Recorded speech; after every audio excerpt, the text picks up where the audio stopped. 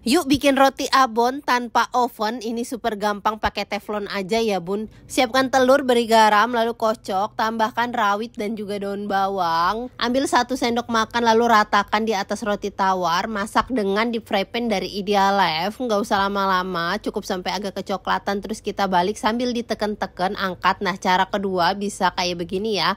Toppingnya kita taruh di atas pannya langsung. Kita masak juga, nggak usah lama-lama biar dia nggak terlalu kering. Sambil sambil di planet kayak begini nih. Kalau udah matang kita angkat lalu masukkan semua bahan sausnya. Perbandingannya satu banding satu aduk yang rata siapkan roti yang udah kita panggang tadi kasih mayones dan keju kasih mayones kembali terus kita roll. Ujungnya sambil agak ditekan ya biar dia nggak kebuka Nah, kalau udah seperti ini, kita bagi dua. Aku pakai pisau dari Ideal Life Day ini tajam banget dan gak akan terkelupas walaupun diasah. Setelah itu, kita celupkan ke sebahan saus yang udah dibikin tadi.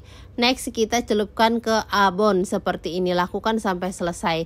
Jadi deh, roti abon simpelnya ini enak banget, cocok banget buat sarapan ya karena super simple banget dan bisa banget kalian anak kos bikin ini karena cuman pakai pen aja. Yuk bikin juga all cookware di video aku beli di Ideal Life. Kalian bisa cek Shopee-nya ya.